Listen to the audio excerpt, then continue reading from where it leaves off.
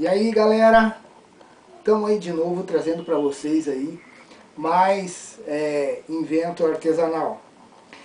Eu tinha feito um submarino aí para os amantes do de submarinos e eu perdi esse submarino meu lá no Parque Tanguá. Tava lá brincando com ele e tal e ele foi, submergiu, foi lá pro fundo lá e não voltou mais. Então eu tive que fazer outro submarino que eu vou mostrar para vocês agora. Esse submarino é 100% artesanal, foi o último que eu fiz.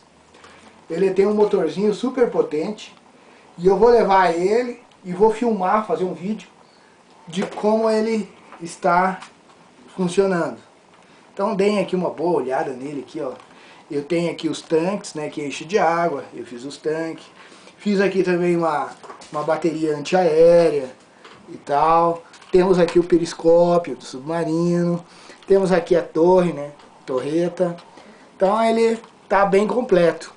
E logo, logo vocês vão ver eu lançando ele lá. Vamos se dizer assim, o alto mar para ele, né? Pro tamanho dele. É isso aí, galera. Até mais.